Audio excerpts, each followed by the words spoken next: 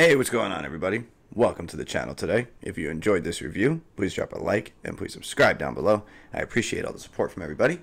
And we have a very special Nike box in front of us. This was a pretty limited drop. They did do a sneakers drop today for these, and this came out at a store called Concepts. As you can see on the side is a collaboration.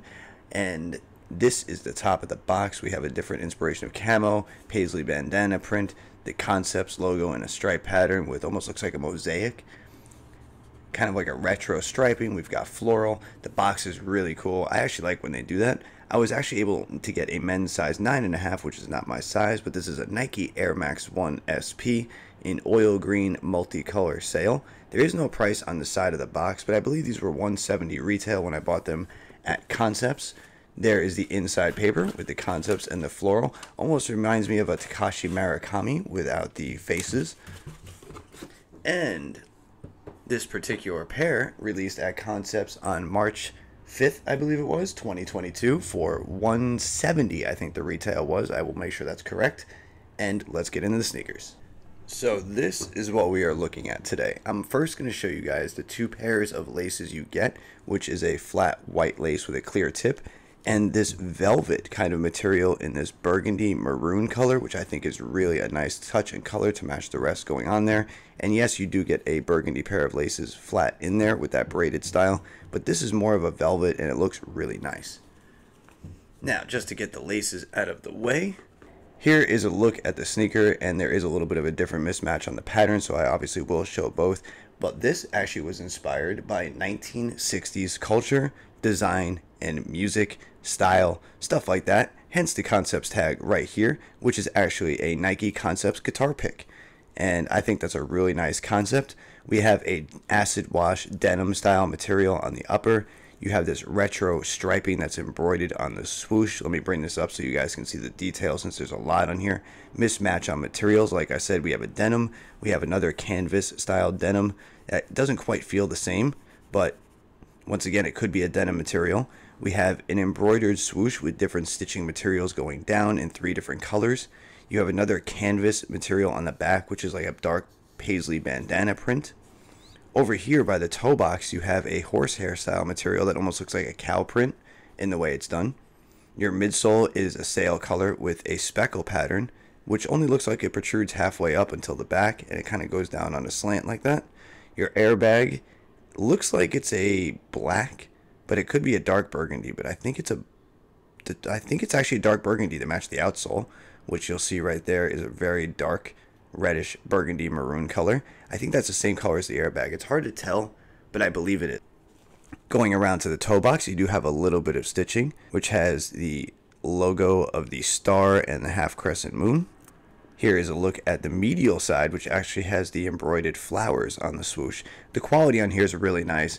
The concept on the way, well, the concept on how Concepts actually did the sneaker, I think, is a really, really nice mismatch design. Kind of like, you know, the whole what the theme that Nike's done before, if you're familiar with sneakers. There's a look at that paisley pattern. It wasn't so predominant here on the lateral side, but on the medial, you can see it's a lot more detailed. And if you notice up here in the striping, going across here with almost like a mosaic, has concepts right across there. And it's like a purple, blue, and like a darker purple. And your tongue going up under those burgundy looking laces is like a burgundy maroon, almost satin velvet material. It's actually, it's unique, it's different. I like it.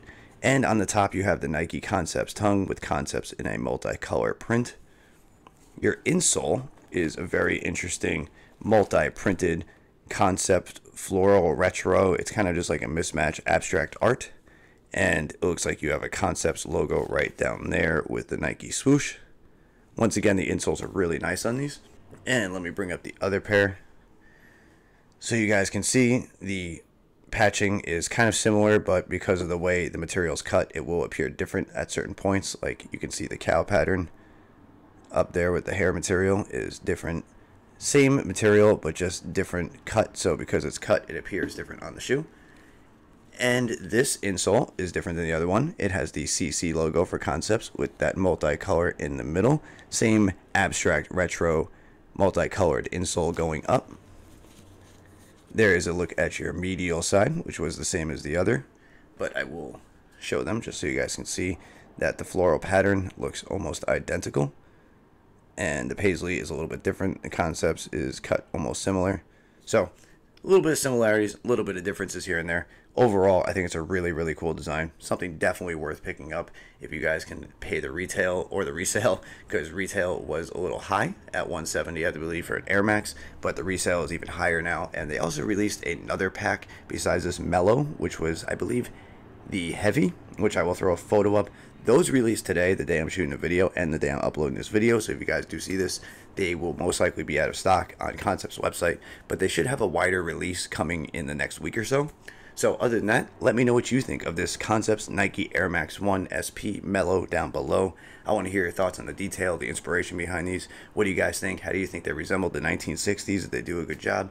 And um, yeah, I heard that it's also resembled from music festivals. And one thing I did forget about on the eyelets up here, it is a corduroy purple material. I can't believe I forgot to mention that, but thank you for sticking around if you did see that just now.